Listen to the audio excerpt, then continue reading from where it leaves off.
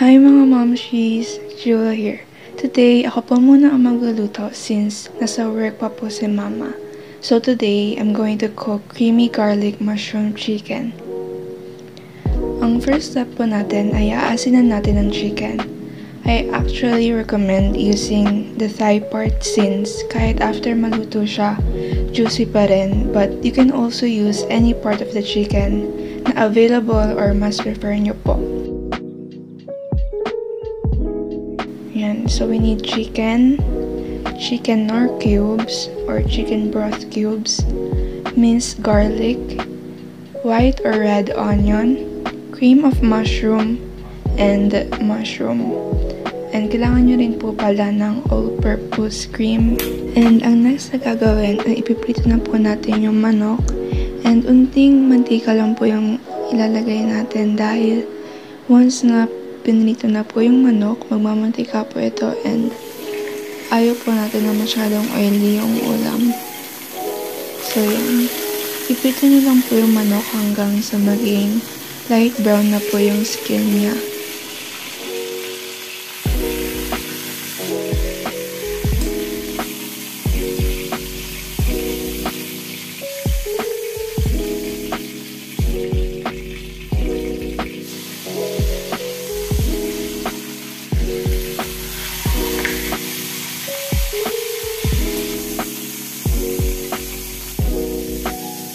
Next, igigisa na po natin yung bawang hanggang sa maging light brown na po yung color nito.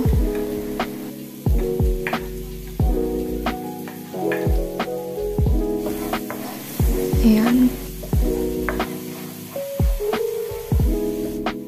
Tapos, i-add nyo po yung white or red onions. Tapos, igigisa nyo rin po yan.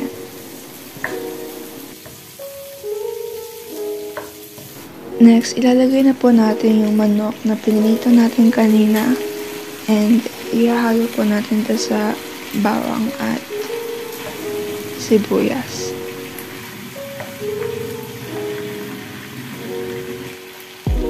Maglalagay din po tayo ng black ground pepper.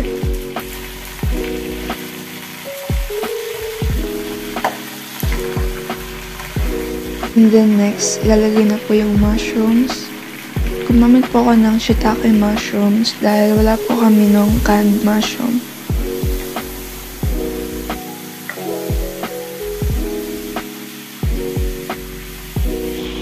After nyo po ihalo yung manok, let it simmer for about 15 minutes over medium-high heat.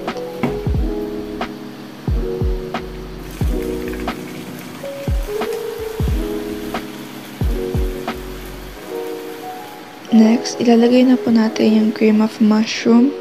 Make sure nasisimutin nyo po yung can ng cream of mushroom kasi sayang kapag hindi po nyo sinimot.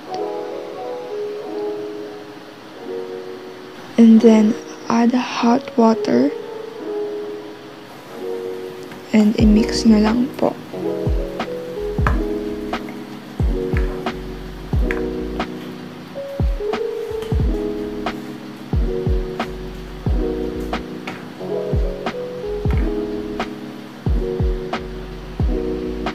Next, maglalagay na tayo ng chicken nor cube. Kalahati lang po inilagay ko kasi um, para sa akin sakto na po yung lasa.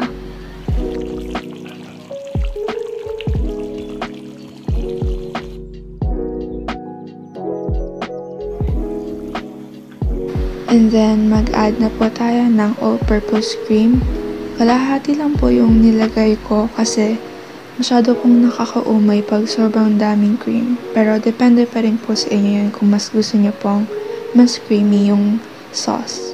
At hindi na po ako nag-add ulit ng asin kasi inasinan ko na po yung chicken and para sa akin, sakto na po yung alat ng sauce. But it depends naman po sa tastes nyo. Kung masyado pa pong matabang, you can add more salt pero unti-unti lang kasi pag masyadong naging maalat, mahirap na po ito i-adjust ulit.